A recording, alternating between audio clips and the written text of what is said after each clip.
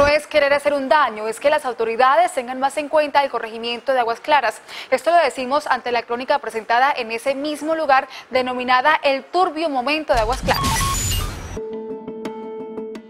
Varios habitantes de Aguas Claras han elevado algunas voces expresando su inconformidad ante el informativo TV San Jorge por la crónica que se presentó hace algunos días, el turbio momento de Aguas Claras. Dicen que TV San Jorge daña la imagen de Aguas Claras y que perjudica al comercio de esa zona.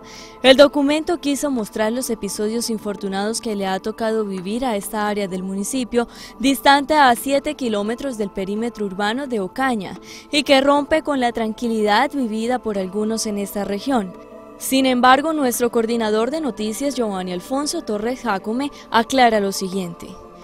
Abro comillas, la intención del informativo TV San Jorge con base a sus principios de neutralidad, objetividad y contribución desde el medio al desarrollo social de las comunidades no ha sido otro que el de llamar la atención de las autoridades y de la propia dirigencia comunitaria para que desde la institucionalidad se ponga freno a estos sucesos negativos que han ocurrido en Aguas Claras y sus alrededores.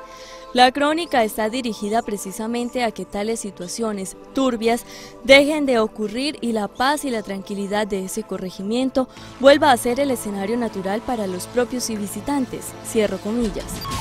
Esto lo dicho por nuestro coordinador Giovanni Alfonso Torres, reiterando que el periodismo de canal comunitario para nada está al servicio de estigmatizar o quererle causar daño a alguien o alguna región. Por el contrario, todo se hace en procura de construir positivamente nuestro propio futuro. El llamado ante todo es a las autoridades.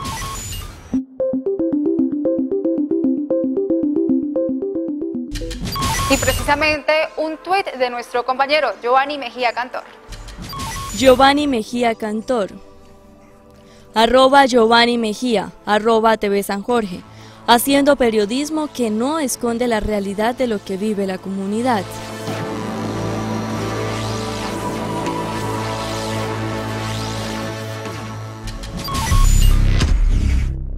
En conexión con la paz, cuando se quiere, se puede. Hablando, se arreglan las cosas. Prorrogan por 10 días diálogos entre gobierno y trabajadores estatales para finalizar paro. Conexión con la paz en TV San Jorge. Buenas noches.